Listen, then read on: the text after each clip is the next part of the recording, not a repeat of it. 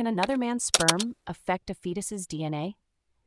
Imagine you're expecting a baby and you're curious about how the father's sperm might influence the developing fetus. Let's break down the science behind this.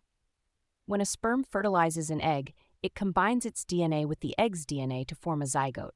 This zygote is the beginning of the fetus, and its DNA is a unique mix of the mother's and father's genetic material.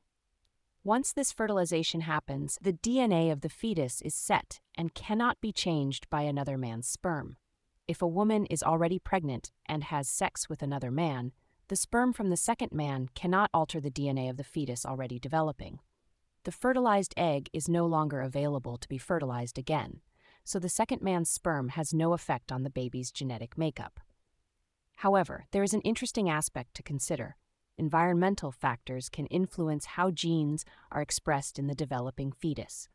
For example, studies have shown that environmental stresses experienced by the father can affect the epigenetic markers on his sperm, which in turn can influence the stress responses of his offspring.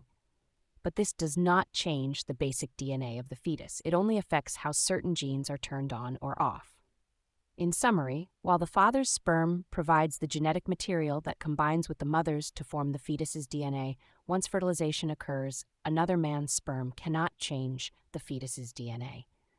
The genetic makeup of the fetus is determined at the moment of fertilization and remains unchanged thereafter.